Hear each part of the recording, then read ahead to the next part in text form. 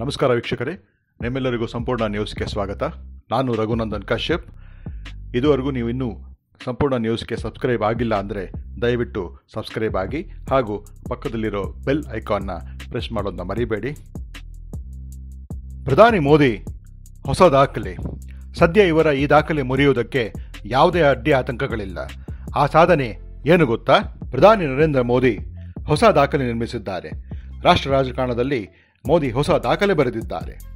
ಅಧಿಕಾರದಲ್ಲಿ ಸುದೀರ್ಘ ಅವಧಿ ಪೂರೈಸಿದ ಅಪರೂಪದ ನಾಯಕ ಎಂಬ ಖ್ಯಾತಿ ಪಾತ್ರರಾಗಿದ್ದಾರೆ. ಇಂದು ಅಖಂಡ ಅಧಿಕಾರದಲ್ಲಿ ಇಪ್ಪತ್ತನೇ ವರ್ಷಕ್ಕೆ ನರೇಂದ್ರ ಮೋದಿ ಕಾಲಿಟ್ಟಿದ್ದಾರೆ. ರಾಜಕೀಯ ಪ್ರಕ್ಷುಬ್ಧ ಪರಿಸ್ಥಿತಿಯಲ್ಲಿ ಮೋದಿಯವರನ್ನು ಆಗಿನ ಪ್ರಧಾನಿ ಅಟಲ್ ಬಿಹಾರಿ ವಾಜಪೇಯಿ ಗುಜರಾತ್ ಸಿಎಂ ಆಗಿ ನೇಮಿಸಿದ್ದರು. ದಿನಾಂಕ ಏಳು ಹತ್ತು ಎರಡು ಸಾವಿರದ ಒಂದರಂದು ಗುಜರಾತ್ ಸಿಎಂ ಆದ ನರೇಂದ್ರ ಮೋದಿ ಅಲ್ಲಿಂದೀಚೆ ಅಧಿಕಾರದಲ್ಲಿಯೇ ಮುಂದುವರೆದಿದ್ದಾರೆ.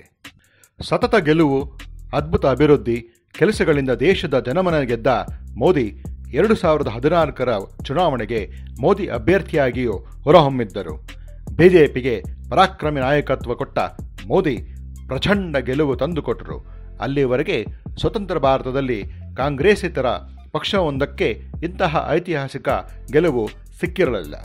ಕಾಂಗ್ರೆಸ್ ಹೊರತುಪಡಿಸಿದರೆ ಏಕಾಂಗಿಯಾಗಿ ಬೇರೆ ಯಾವ ಪಕ್ಷದಲ್ಲೂ ದಿಲ್ಲಿಯ ಗದ್ದುಗೆ ಏರಿರಲಿಲ್ಲ.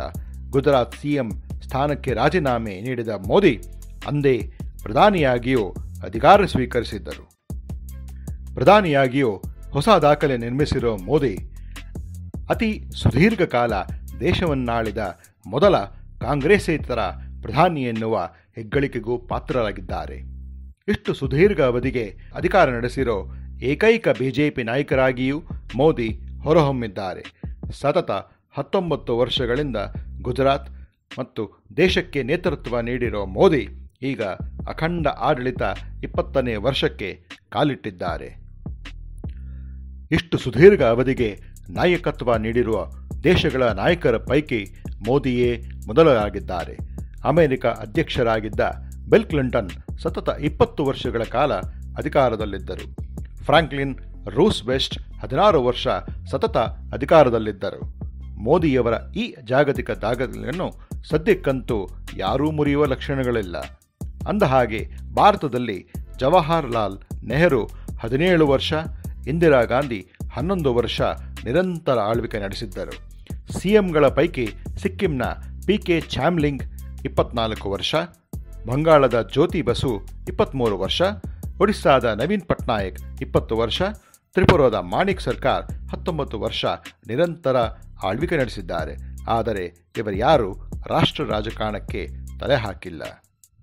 ವೀಕ್ಷಕರೇ, ನೀವಿನ್ನೂ ಸಂಪೂರ್ಣ ನ್ಯೂಸ್ಗೆ ಸಬ್ಸ್ಕ್ರೈಬ್ ಆಗದಿದ್ದಲ್ಲಿ ಈ ಕೂಡಲೇ ಸಬ್ಸ್ಕ್ರೈಬ್ ಆಗಿ ಪಕ್ಕದಲ್ಲಿರುವ ಬೆಲ್ ಐಕಾನ್ ಕ್ಲಿಕ್ ಮಾಡೋದನ್ನು ಮರಿಬೇಡಿ. ಧನ್ಯವಾದಗಳು.